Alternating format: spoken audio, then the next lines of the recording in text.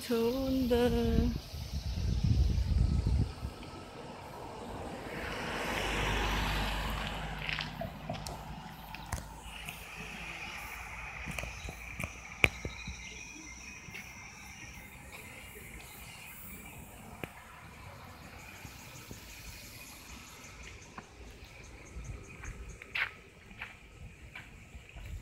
안녕하세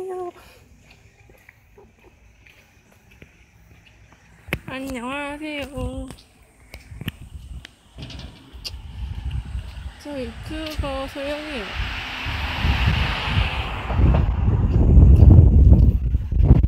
여기는 저도 연육교 다리 위입니다. 스카이워크는 저쪽에 있어요.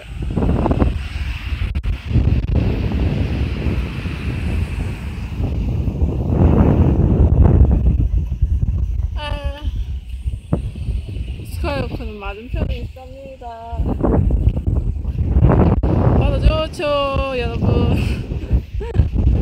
모처럼 가족들이랑 놀러와서 너무 즐겁습니다.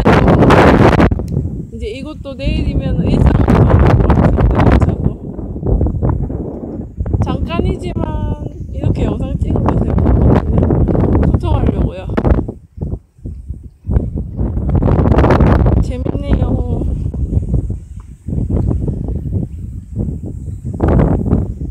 꼭 나중에 구경시켜드릴게요.